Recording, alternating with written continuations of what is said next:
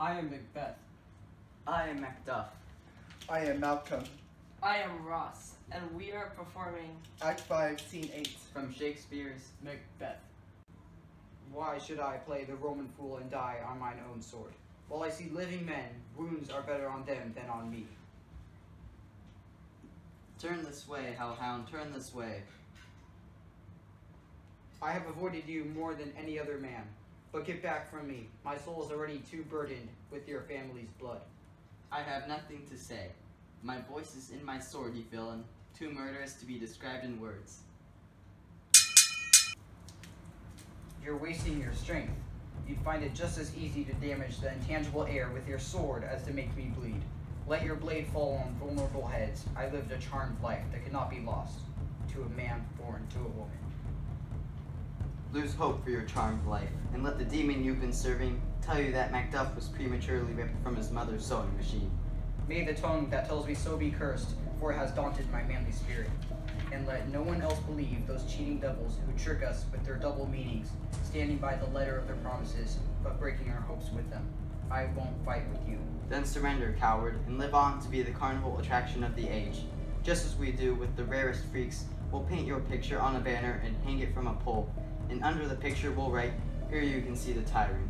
I won't surrender to warm young Malcolm's feet and be tormented by the curses of the rabble. Through Birnam Wood has come to Dunsinane, and I'm faced with you, a man not born to a woman. I'll test fate one last time.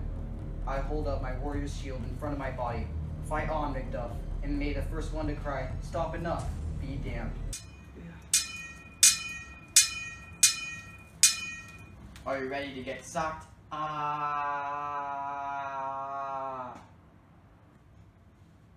Ah. Does it feel socky to play yourself? I wish the friends we're missing had arrived safely.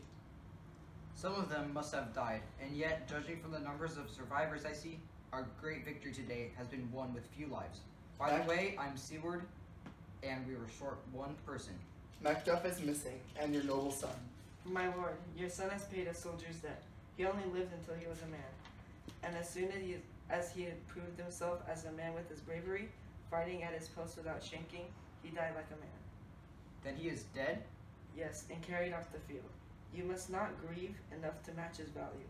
If you do, your grief will never end. Were his wounds in front of him? Yes, on his front. Well then, let him be God's soldier now. If I had as many sons as I have hairs, I could not wish finer deaths for them. That's all the tolling he'll get for his funeral.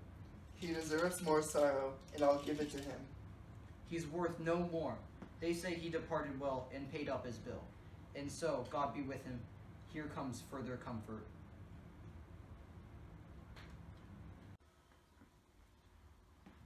Hail, king, for that's what you are. Look, here stands the tyrant's accursed head. The world is free from evil. I see that you are surrounded by the noblest men of your kingdom, who are thinking the same greeting I now make. I wish to hear all our voices say it aloud. Hail, King of Scotland! Hail, King of Scotland! I shall not waste much time before I reward each of you for your services, so that I don't remain in your debt. My thanes and kingsmen from now on will be called earls, the first men ever honored by that title in Scotland. There is more to be done, which should be carried out quickly to begin our new age. For example, we'll call home the, uh, from abroad our exiled friends who fled to escape the shrewd tyrant, and we'll bring justice and cruel agents of this dead butcher and this fiendish queen, who is, is believed took her life by her own violent hands. Whatever else we are called upon to do, we shall carry it out fully at that proper time and place by the grace of God. So thanks to all you together and to each one of you. And we invite you all to see us crowned at Scone. The